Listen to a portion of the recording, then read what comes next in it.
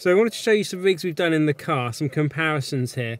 What we've got rigged up in this visor here is we've got a 4018 from DPA, which is really nice. It's got it's on this suspension arm. The cable just comes out the right side like that, and that just goes down. And this this actual arm is held in place.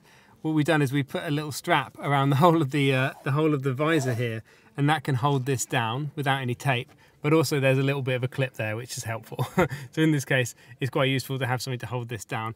But this is quite nice to have to have this thing on a bit of suspension here. So we're going to have a listen to the 4018 and as a comparison we've got a 6060 from DPA on a wire rig.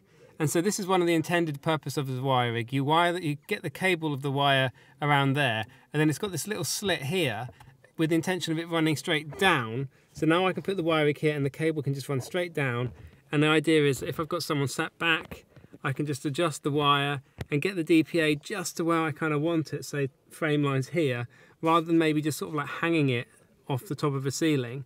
You can really adjust it and point it. So if they suddenly, if I wanted it to get a bit more sideways, I could easily just kind of adjust it like that. So let's have a quick listen. I put my headphones on. Oh, and also popper pouch here. We are assuming this will be out of shot. That's uh, that's the popper pouch rig for this. And also for this mic, we've rigged the cable down could do a bit more tidying up in this cable, we're a bit of a rush. And we've actually put in a strap, a waist side strap here, and the strap for this is down here. So the transmitter is actually hidden around this body of the, um, the steering wheel here. So that's kind of cool. So, right, let's have a listen. Shall we start with the, the 6060? Okay, so this is this is the 6060 you've been hearing all this time. And, uh, and now let's just go over to the uh, 4018 the larger capsule. So that's a supercardioid. So yeah, supercardioid is in here like this. So yeah, two different sound microphones. I think this one here just sounds quite neat and tidy. It's quite a quite a nice little uh, comparison to hear the difference between these two mics. Let's go. What we've done is we've set up a 4097 and a 4018. Um, so the supercardioid, a larger capsule cardioid, and then the gooseneck DPA in the car, basically in the same place as each other and just to sort of hear what it sounds like. Can you hear me? Okay. That sounds pretty nice. Cool. My main concern is the, the bulkiness of the pack, yeah. uh, sticking the visor down. Uh, as I was saying earlier, I would probably actually run the cable down this way, somewhere down there. But it depends on the shot.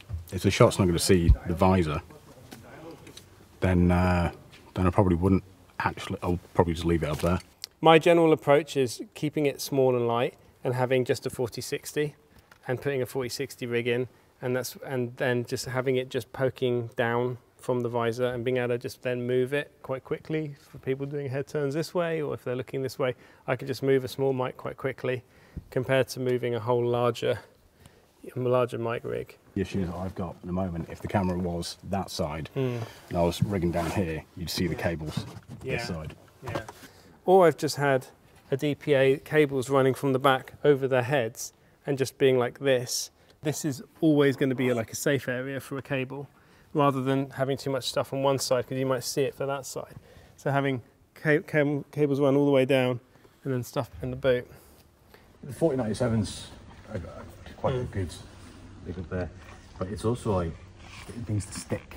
Mm. Yeah. It's always on mm. shiny new new cars. But the one thing I've done with with sticking cables down is I do put gaffer tape, but I've got a, like a little box of safety pins with like little you know little tiny safety pins, and I will put a safety pin through the tape, like four bits of safety pins through the tape, and that will hold the tape on the ceiling.